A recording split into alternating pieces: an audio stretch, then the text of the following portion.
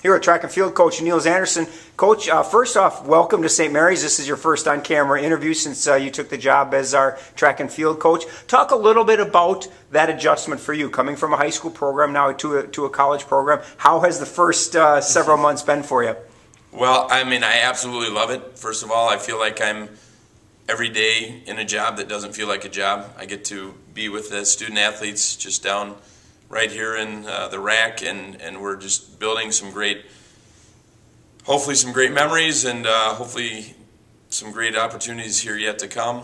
And so the, the biggest transition is creating your own schedule where you feel like uh, you can work as hard as you want, and I'm one of those guys that puts in the hours, and so um, creating that balance with life has probably been my big challenge. Um, not not working as much as I feel like I need to be working.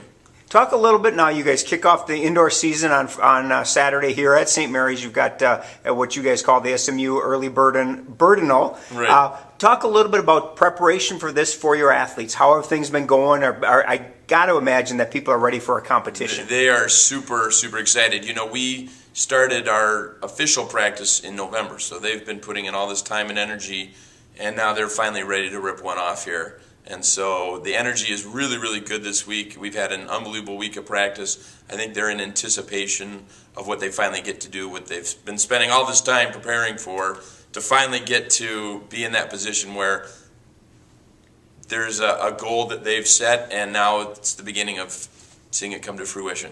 Let's talk a little bit about the men's team. Uh, you know, maybe some athletes we should be looking for. I know uh, you've got several uh, distance runners coming from the cross country team that had great uh, a great season this year. Talk a little bit about the men and, and who we should be watching this year. Uh, a couple names, obviously, Aaron Haley is, is probably the name that everybody recognizes from the press and school record holder in multiple events, you know, in track and um, in cross country. And, and then John Soucheray is a senior, also a school record holder. So those two guys will kind of be leading the pack for the distance guys. Then on the sprints and hurdling and vault side of things, we have Phil Emmerich, a sophomore, uh, and he's our multi-event guy. So he's going to be doing the indoor HEP and the outdoor decathlon, and so he goes from coach to coach to coach uh, every single day, kind of moving around. He's super flexible with his routine. And Brian Ortman is one of our returning scorers from the conference meet last year and he's a long and triple jumper, and I've been working high jump with him too. I think he's got some talent there as well. And so those are just a few of the names that kind of immediately are going to, I think, have some standout success. And now I'll put you on the spot to do the women as well. Uh, I know uh, you've got, again, some very talented people coming back from last year. Correct. Uh, who should we be looking for on the women's side? Um, Katie Stoltz is the, the name that rockets to the top. Again, a school record holder. So anytime you have a school record holder, who's an underclassman. That's pretty exciting. Um, Laura Schomer is uh, been putting together some unbelievable workouts. I really think she's going to surprise a lot of people.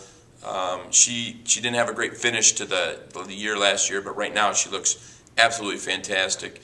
Um, also, Reba Krieger is a senior, and she's been having some great workouts as well. So I anticipate some good things from her. And Maya Booker is a, a great thrower that absolutely I think is one of the conference's best, and I think she'll prove that as the season progresses. As you head into Saturday now, what as a coach, you know, I know you, you mentioned a little bit the, the athletes have some some goals in mind. As a coach, what do you want to get out of this first meet of the season?